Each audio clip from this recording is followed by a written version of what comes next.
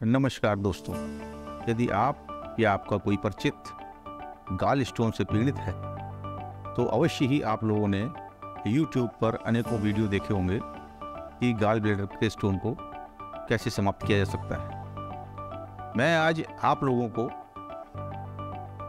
अपने अनुभव के आधार पर और आयुर्वेद के अनुसार किस प्रकार से गाल स्टोन की पीड़ा से मुक्ति मिल सकती है, एवं साथ ही किस प्रकार से गाल स्टोन को खत्म किया जा सकता है, समाप्त किया जा सकता है।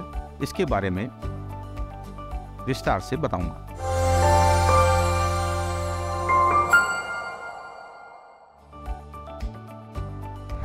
गाल स्टोन के मरीजों के मन में या उनके परिचितों के मन में ये सवाल आता है कि क्या गाल स्टोन को बिना ऑपरेशन के भी रिमूव किया जा सकता है? अगर किया जा सकता है तो कैसे किया जाता है और किन परिस्थितियों में, किन स्थितियों में गाल ब्लेडर का स्टोन के लिए ऑपरेशन करना आवश्यक है एवं किन परिस्थितियों में हम इसमें औषधियाँ लेकर, आयुर्वेदिक दवाइयाँ लेकर उस स्टोन को धीरे धीरे कम करते हुए समाप्त कर सकते हैं। जिस प्रकार से बाइल के इकट्ठा होने से, कंडेंस होने से स्टोन बनता है, उसी के रिवर्स प्रोसेस में जाकर उस स्टोन को धीरे धीरे समाप्त नहीं किया जा सकता है। इस वीडियो में मैं आपके सभी सवालों का जवाब देना चाहूँगा और इसके लिए आवश्यक है कि आप इस वीडियो में अंत तक बने रहें और अपने यदि कोई क्वेश्चन भी हो जो इस वीडियो में कवर नहीं हो पा रहे हैं तो उनको आप कमेंट बॉक्स में लिखकर भेज सकते हैं। जिससे कि अगली वीडियो में उनका समुचित उत्तर दिया जा सके। अब बात करते हैं कि गाल स्टोन के साइज़ के बारे में। किस साइज़ का गाल स्टोन दवाओं के द्वारा रिमूव हो सकता है और किस साइज़ का गाल स्टोन इसके कॉम्प्लिकेशंस के साथ उसका ऑपरेशन कराना ही एक विकल्प बचता है। अतः मैं अपने अनुभव के अनुसार एवं आयुर्वेदिक औषधियों के अनुसार मैं आपको बताना चाहूँगा कि किस किस साइज़ तक के गाल स्टोन औषधियों के द्वारा रिमूव किए जा सकते हैं। हालाँकि एक लंबा प्रोसेस होता है और इसमें समय तो लगता ही है। अगर गाल स्टोन का साइज़ 10 एम mm तक का है तो उसके बारे में आयुर्वेदिक औषधियों के द्वारा उसको रिमूव करने के बारे में एक बार अवश्य सोचना चाहिए। 10 से 20 एम तक के स्टोन जो होते हैं, उनको भी आयुर्वेदिक औषधियों द्वारा रिमूव किया जा सकता है, लेकिन उसमें समय काफ़ी अधिक लगता है। अगर गाल स्टोन 20 एम से अधिक है और उसके साथ कोई कॉम्प्लिकेशन भी है, अथवा मल्टीपल स्टोन्स हैं तो वहाँ पर ये आवश्यक हो जाता है कि उस गाल ब्लेडर की सर्जरी कराकर उस स्टोन को निकलवा दिया जाए। यह बात भी गाल स्टोन के पेशेंट्स को जानना ज़रूरी है कि जब गाल स्टोन का ऑपरेशन कराया जाता है तो अधिकतर मामलों में गाल ब्लेडर को स्टोन के साथ ही निकाल दिया जाता है। गाल ब्लेडर को निकालने का मतलब है कि चूँकि गाल ब्लेडर में पित्त बनता है बाइल बनता है। और उस बाइल का काम फैटी या चर्बी युक्त भोजन को पचाने का होता है। यदि गाल स्टोन के साथ साथ गाल ब्लेडर भी निकल जाएगा तो वहाँ पर पर्याप्त मात्रा में भोजन को पचाने के लिए बाइल नहीं मिलेगा। इससे अपचन की समस्या होगी एवं पेट खराब रहने लगेगा। कई बार ऐसा होता है कि गाल स्टोन के साथ में कुछ कॉम्प्लिकेशंस होते हैं। वहाँ पर कैंसर जैसी बीमारी के होने के चांसेस भी होते हैं। अतः जब भी ऑपरेशन कराएँ तो उस सैंपल को बायोप्सी के लिए अवश्य भेजना चाहिए, जिससे ये कंफर्म हो सके कि गाल ब्लैडर के स्टोन के साथ साथ कहीं कैंसर की समस्या तो उत्पन्न नहीं हुई। गाल ब्लेडर में स्टोन होने पर सबसे पहले ये तभी पता चलता है जब उसमें गाल ब्लेडर में कहीं पर पेन हो रहा हो, अथवा जनरल रूटीन में कभी अल्ट्रासाउंड होता है तो उसमें भी कभी कभी बिना किसी तकलीफ़ के भी गाल स्टोन का पता चल जाता है। वो कोई तकलीफ़ नहीं हो रही है, लेकिन हमारे गाल ब्लेडर में स्टोन है तो वो कभी कभी अल्ट्रासाउंड करने से भी अचानक ही पता चल जाता है। ऐसी स्थिति में अगर गाल स्टोन छोटी है, उसका साइज़ कम है तो वहाँ पर अवश्य एक बार किसी कुशल आयुर्वेदिक चिकित्सक से परामर्श लेना चाहिए और यदि औषधियों के द्वारा, दवाओं के द्वारा कुछ आसन के द्वारा, योग के द्वारा इस पथरी को भोला जा सकता है तो वह आपके लिए अधिक अच्छा रहेगा। क्योंकि अगर ऑपरेशन करा देंगे तो साथ ही गाल ब्लैडर भी अधिकतर मामलों में निकाल दिया जाता है। ऐसी स्थिति में निश्चित रूप से पचन संबंधी जो विकार होते हैं, वो उत्पन्न होते हैं और जो चर्बी वाले पदार्थ होते हैं, उनका पाचन ठीक प्रकार से नहीं हो पाता है। यदि किसी रोगी को अपर एब्डोमेन में पेन है तो अल्ट्रासाउंड के द्वारा ये पता लगाया जा सकता है कि वो पेन किस वजह से है। हो सकता है कि वो गाल ब्लेडर में पथरी होने के कारण हो रहा हो। जब कोई रोगी, जो कि गाल स्टोन से पीड़ित है,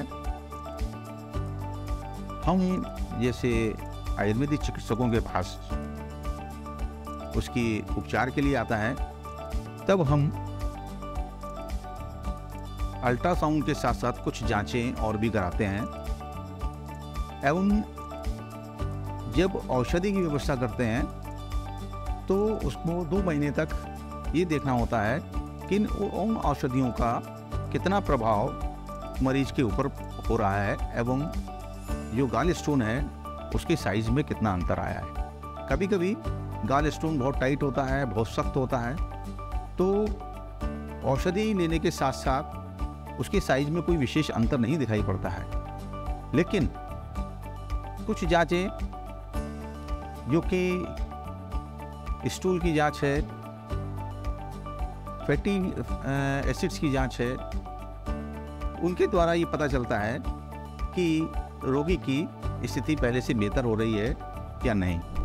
औषधि व्यवस्था के साथ साथ जो कुछ जांचें बताई जाती हैं कि हमारा गाल स्टोन कम हो रहा है या नहीं, उन जांचों के द्वारा ये पता चलता है कि हमारे शरीर की औषधि लेने के बाद क्या स्थिति है, क्या वो आगे चलकर गाल स्टोन को घोल पाएगा या नहीं, वह समाप्त हो पाएगा कि नहीं।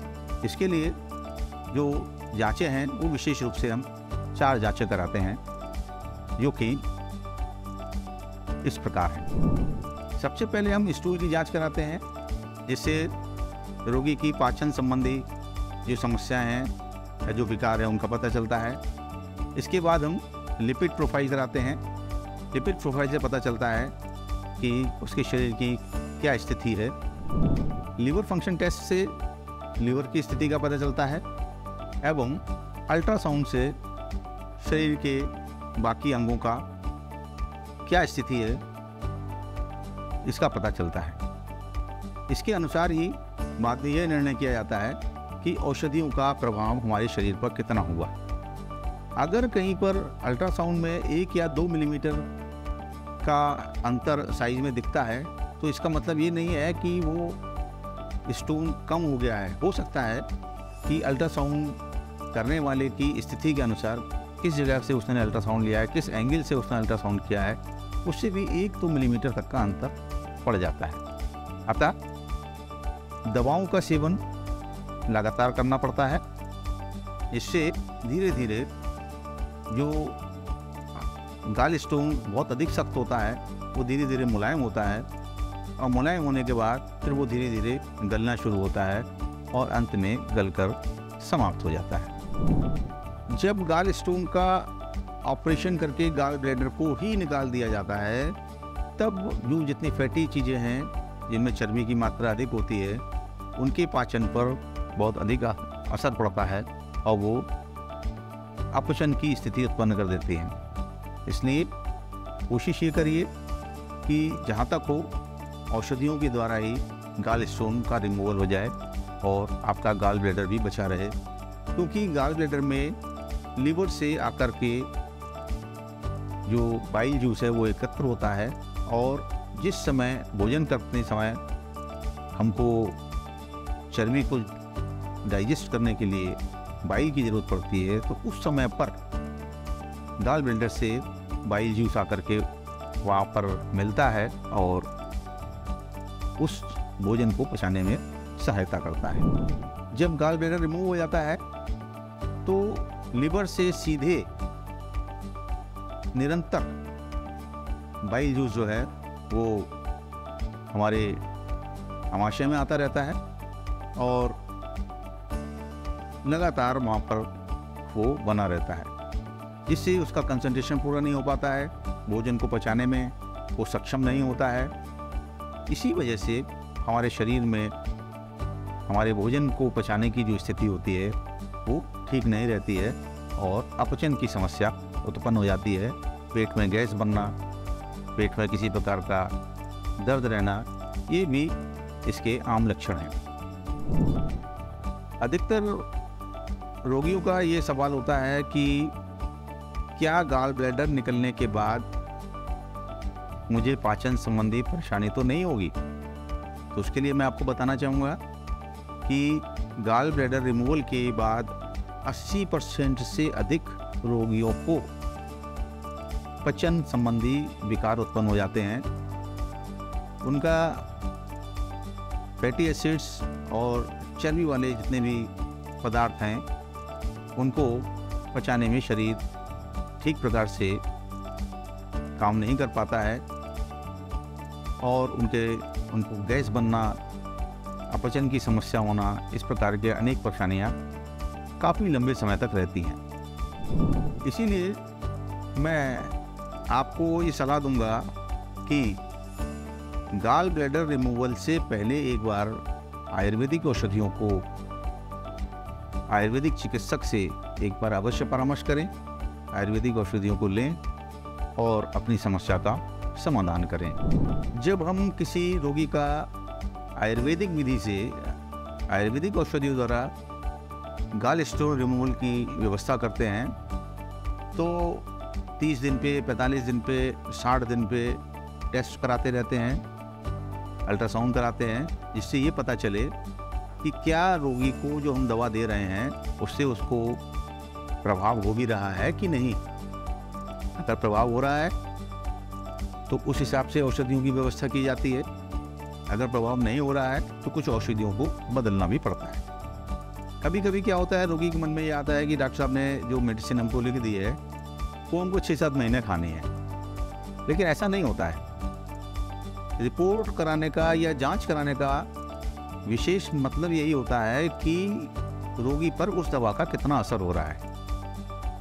पैंतालीस दिन के बाद, साठ दिन के बाद जब जाँच कराते हैं तो पता चलता है कि शरीर में क्या क्या परिवर्तन आए उन परिवर्तन के अनुसार हम औषधियों को बदलते भी हैं। अतः कभी भी ये ना सोचें कि एक बार दवा लिखवा ली, अब हम छः सात महीने तक खाएँगे और हम ठीक हो जाएँगे। उससे कभी कभी क्या होता है कि रोग अपनी जगह बना रहता है, पथरी नहीं गल पाती है और बाद में परेशानी बढ़ जाती है। उस परेशानी ना बढ़े, उसके लिए आवश्यक है कि सही समय पर और निश्चित अंतराल पर चिकित्सक से संपर्क में रहें एवं परामर्श करते रहें। आयुर्वेदिक औषधियों से गाली शून की चिकित्सा। क्या मरीज़ ठीक होते हैं? कुछ लोगों का ऐसा प्रश्न भी होता है। अधिकतर लोगों के मन में ये विश्वास है कि गाल स्टोन अगर हो गया है तो उसका ऑपरेशन ही कराना होगा। जबकि ऐसा नहीं है। बहुत से मरीजों में ऐसा देखा गया है कि उनको आयुर्वेदिक औषधियाँ देने के उपरांत उनका जो गाल स्टोन था, वो घुलकर धीरे धीरे ख़त्म हो गया और वे बहुत ही शांति से और सुखपूर्वक अपना जीवन व्यतीत कर रहे हैं। उनको कोई दोबारा परेशानी नहीं हुई। अल्ट्रासाउंड में भी उनकी जो गाल स्टोन था, वो समाप्त हो गया। होता क्या है कि वो गाल स्टोन औषधियों के प्रभाव से धीरे धीरे गलने लगता है, वो चूरा बनने लगता है। चूर्ण होकर सिलज के रूप में गाल स्टोन, गाल ब्लेडर में नीचे बैठ जाता है। अब समस्या क्या आती है कि वो निकले कैसे? उसको निकलने के लिए कुछ हम व्यायाम, कुछ आसन बताते हैं, जिससे कि वो जो गाल ब्लेडर है, उसका मुँह जो ऊपर की तरफ़ है, वो अगर आसन करने में नीचे की तरफ़ हो जाए और गाल ब्लेडर पर प्रेशर पड़े तो गाल ब्लेडर से बाइल जूस निकल के बाहर आएँगे और उनके साथ में वो सिलज या चूर्ण बना हुआ या पाउडर बना हुआ जो वाल स्टोन है, वो भी निकल करके बाहर आ जाएगा। ज़रूरी है कि गाल स्टोन के ट्रीटमेंट के साथ साथ बताई गई आसन, बताए गए योग प्राणायाम भी अवश्य करें, जिससे आपके गाल स्टोन को बाहर निकालने में मदद मिलती है। आशा है कि मेरे द्वारा जो ये सब जानकारी दी गई है, ये आपको, आपके ज्ञानवर्धन के लिए अच्छी रही होंगी। आपको इनसे संपूर्ण रूप से ये पता चल गया होगा कि गाल स्टोन के, कि गाल स्टोन के साथ हमको किस प्रकार चिकित्सा लेनी चाहिए। मैंने बहुत से पेशेंट्स के संग देखा है, मेरे पास कुछ रिपोर्ट्स भी हैं कि उनमें गाल स्टोन बाद में सिरज के रूप में नीचे बैठ गया और जब उनको आसन के द्वारा कुछ व्यायाम के द्वारा वो कराया गया तो वो, बाई जूस के साथ मिलकर गाल ब्लेडर से बाहर निकल गया। जब वो बाहर निकल जाएगा तो निश्चित रूप से गाल स्टोन हमको गाल ब्लेडर के अंदर अल्ट्रासाउंड में भी दिखाई नहीं पड़ेगा एवं जो परेशानियाँ या जो कष्ट हमको गाल ब्लेडर में स्टोन होने से होता है वो भी धीरे धीरे समाप्त हो जाता है। आशा है ये जानकारी आपको उचित लगी होगी। अगर ऐसा है तो इस वीडियो को लाइक करें, उस पर कमेंट करें, सब्सक्राइब करें और अपने अन्य मित्रों को शेयर अवश्य करें, जिससे कोई भी अगर गाल का पेशेंट है, वो इससे लाभ उठा सके। यदि आप में से कोई गाल स्टोन से पीड़ित है तो हमारे काफ़ी फिट के इस प्लेटफॉर्म पर आकर कंसल्टेशन कर सकता है।